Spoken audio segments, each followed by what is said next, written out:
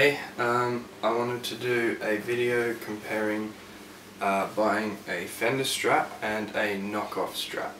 Um, I won't go into kind of the sound because that's pretty subjective. Um, I think the Fender Strats sound better obviously. Um, yeah, that's all up to kind of your amp and what pickups your fake one has and all that kind of stuff. What pickups your Fender has. Yeah, I won't go into that.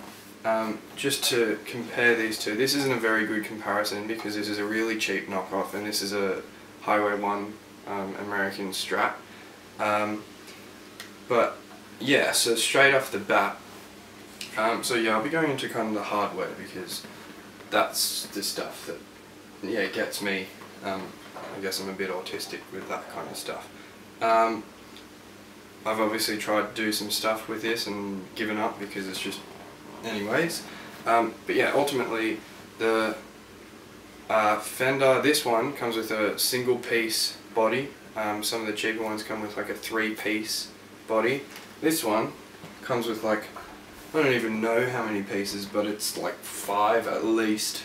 Yeah, there's at least five pieces there, um, which means I guess it's just not one solid piece of wood, but that's fair enough, because with an electric guitar most of your sound comes from the pickup. Um, there's a big debate on whether the tone wood has any effect, I'm not going to go into that. Um, but yeah, so this one, uh, the machine heads just either barely work or don't work at all. Like um, some of them lose tension and kind of loosen. It won't keep tune if you buy a fake one. This is a this is a Monterey Strat. Um, pretty sure it's made in China or Malaysia or something like that.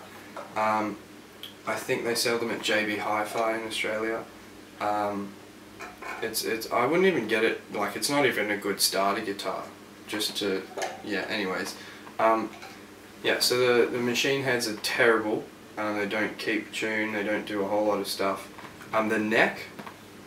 Um, every single one in the shops is bent. So like bowed or uh, whatever the other one is.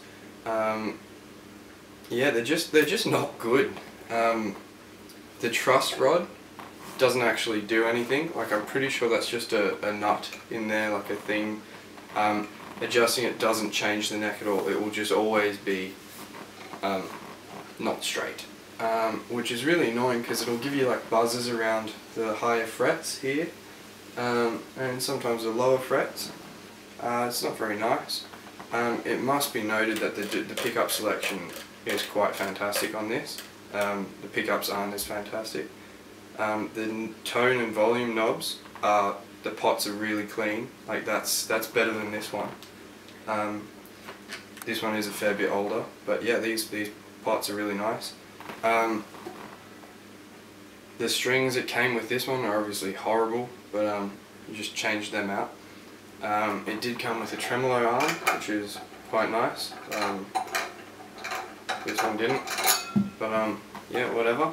Um, the input jack is really like rattly um, and cracky, so that's a that's a negative.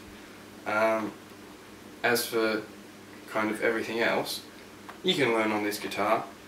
I'd get something else, like maybe even like a uh, a Fender Squier I would go for because you don't have as many of the neck issues and the machine heads are real um, so that's always nice.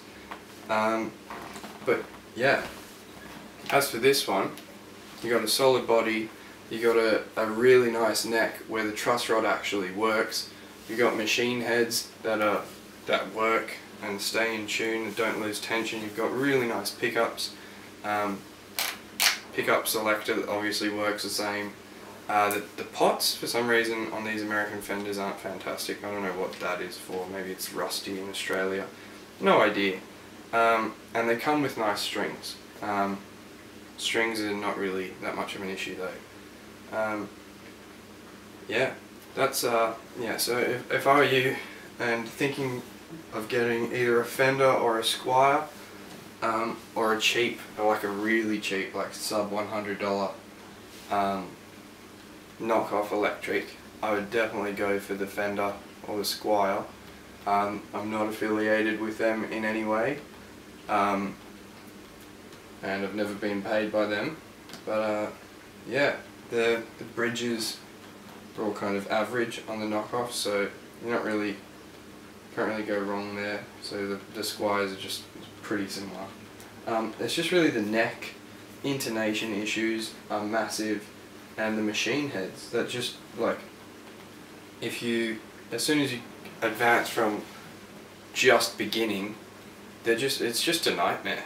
Um, I would definitely definitely avoid them. Like you can get away with uh, them as a beginner, but uh, yeah, you deserve better, really. Uh, thanks for listening.